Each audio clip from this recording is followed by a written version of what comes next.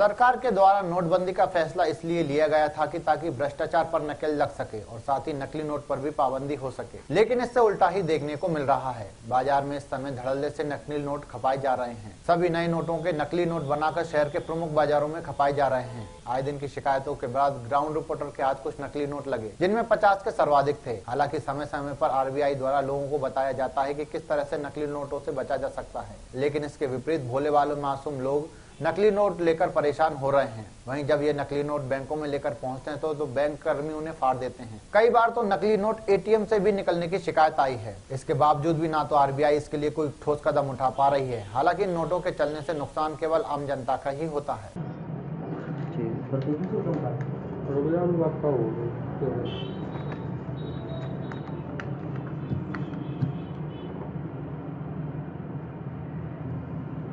शिमला असली की ओर कर लेते जाए